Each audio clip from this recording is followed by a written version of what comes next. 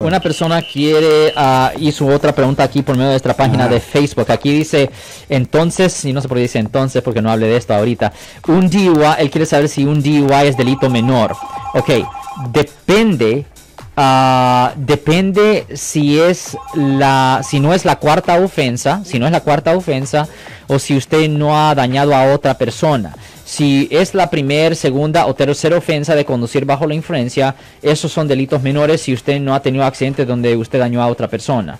Si usted tiene un accidente estando bajo la influencia de alcohol, Lo siento por la interrupción, su video va a continuar monetariamente.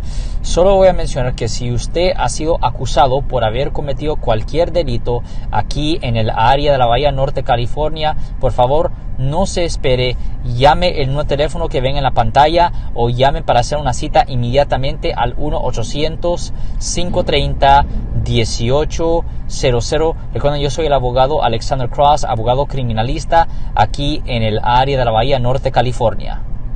Y daña a cualquier persona que no sea el mismo conductor de cualquier forma insignificante, incluyendo una marquita suficiente para que le presenten cargo de delito mayor de, manejar bajo la influencia. Si es su cuarta ofensa también de manejar bajo la influencia, aunque haya, ha- haya daños o no, si es cuarta, cuarta ofensa dentro de 10 años, eso también es delito mayor de, manejar bajo la influencia. Pero si no es la cuarta ofensa dentro de 10 años y si usted no ha dañado a nadie, ah, un DUI es delito menor.